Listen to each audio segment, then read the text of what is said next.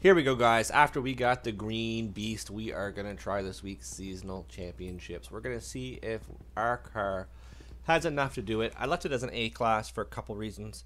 Um, I've been doing a lot of team adventures, and I figured if I can get it as a good A class, I might as well keep it for team adventures for the off-road stuff. Make sure you check out my tune BCZICAN gaming and the design if you like it. Share some love, guys. I would appreciate it. Now, Shout out to my sponsor. He's up on the screen. If you want cheap Horizon 4 credits, check them out.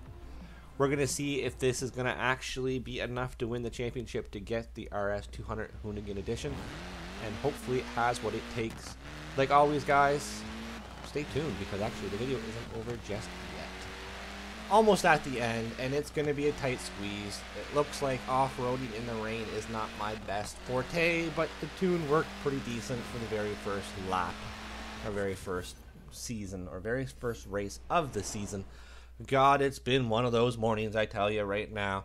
So let's see if we can win. We're only down by four points. I'm pretty sure we will still fare out pretty good, and I think it's time to change my Santa suit.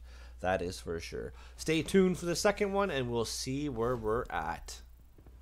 Let's see how we fare out on the second of the three hopefully this car has what it takes so I don't have to adjust the tune to get to the first position.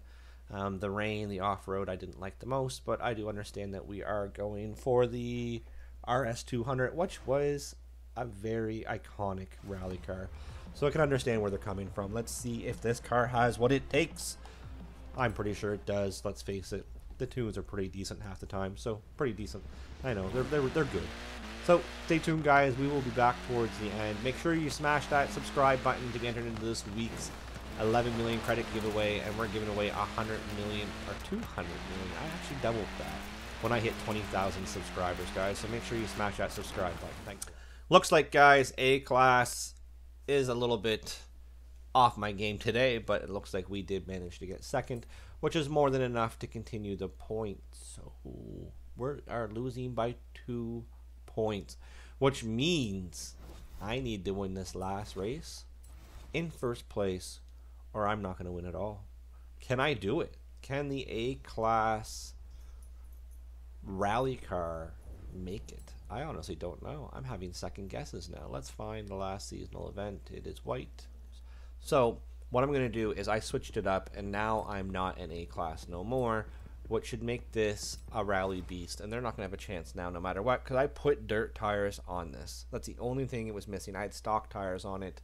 So now it is going to be a breeze. So make sure you check it out. It is now an S1 class, but I guarantee I can get this with ease compared to, quite frankly, the first and second race I fought to get second place, and this race I was fighting to get first place. This should be a lot easier now that the tires are there they won't be able to pass me on the uh, turns like they were doing before. So stay tuned and we will get first place and enjoy our new car. And as you see, the proof is in the pudding. We just got our free RS200, guys. Check out the tune. It might be a difficult one, but I did get it on my first try. So, you know, if I can do it, you definitely can do it. And here it shows I won by two points. Not a bad one. I don't know if I'll do tunes for the other ones. If you guys want me to, let me know. But are you really going to go after them for free wheel spins? Probably will. I know I will at the end of the day, but it might not be right away. So I'm kind of disappointed in this week's Forzathon, this week's seasonal event. Hopefully, Fortune Island has something a little better. Thanks a lot, guys. Have a good one.